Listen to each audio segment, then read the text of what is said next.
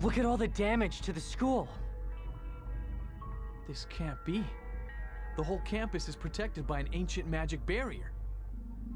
It would take something tremendously powerful to cause this kind of damage.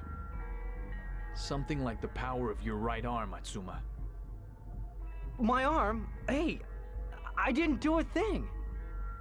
I know, I was with you the whole time. But your power and all this, there may be some similarities, some connection. The life force has been drained from everyone here too, which means, Means what? well, enchanting is the power to create, to add, positive power. But here, an opposing kind of power, the reverse effect is being used. A negative enchanting effect, draining life force. And that's like the power of my right arm? Not exactly. Your arm is negation. The effects are somewhat similar, but the cause is different, I'm sure. We still know almost nothing about your power. But how is all this being done? I've never heard of such a thing.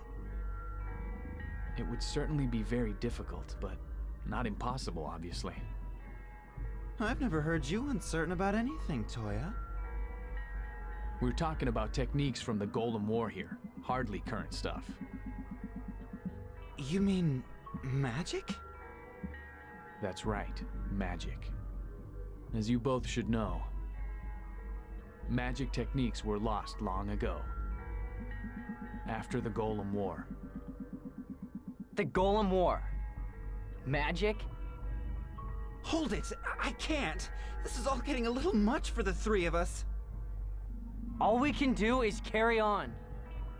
Ugh, I give up. Do your ears even work?